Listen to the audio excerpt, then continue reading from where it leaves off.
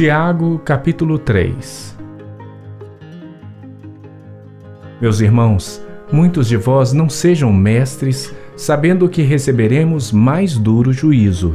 Porque todos tropeçamos em muitas coisas. Se alguém não tropeça em palavra, o tal é perfeito e poderoso para também refrear todo o corpo.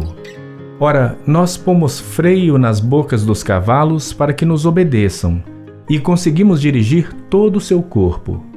Vede também as naus, que, sendo tão grandes e levadas de impetuosos ventos, se viram com um bem pequeno leme para onde quer a vontade daquele que as governa. Assim também a língua é um pequeno membro e gloria-se de grandes coisas. Vede quão grande bosque um pequeno fogo incendeia. A língua também é um fogo. Como mundo de iniquidade, a língua está posta entre os nossos membros e contamina todo o corpo e inflama o curso da natureza e é inflamada pelo inferno.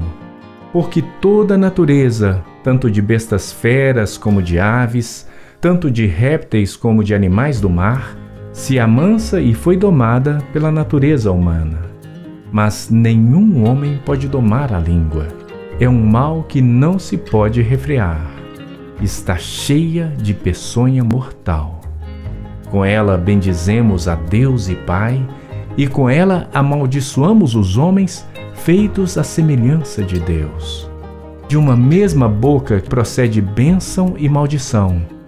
Meus irmãos, não convém que isto se faça assim. Porventura, deita alguma fonte de um mesmo manancial água doce e água amargosa? Meus irmãos, Pode também a figueira produzir azeitonas ou a videira figos?